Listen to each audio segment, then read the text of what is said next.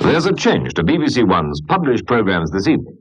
The newcomers is at five past seven, and the news headlines are at 7.29.